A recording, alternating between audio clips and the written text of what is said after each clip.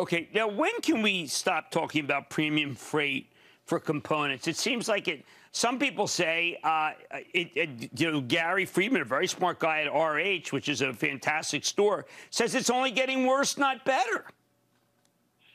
Yeah, the, the, so you know, the, the over the past two years, we've seen kind of a migration of of of, of some of the issues. Now, it started off with freight being um, the, the the issue that we talked about, the cost that we incurred. That has moderated. It was somewhat better in Q1 than it was in Q4. Our, you know, cost per kilo was coming down, not to what it was pre-pandemic, but it certainly was down. We, we were forecasting now that it was going to basically hold at these levels for the rest of the year. Hopefully, there's some upside to that, but that's what we're forecasting.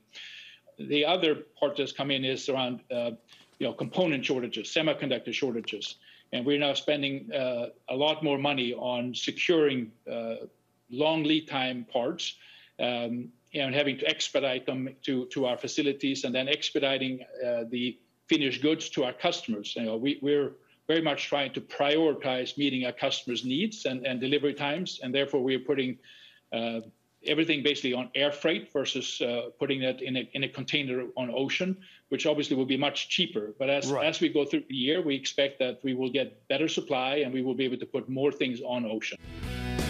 Don't miss a second of Mad Money. Follow at Jim Cramer on Twitter. Have a question? Tweet Cramer. Hashtag mad tweets.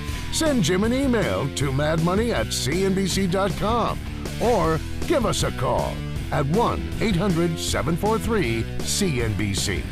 Miss something? Head to madmoney.cnbc.com.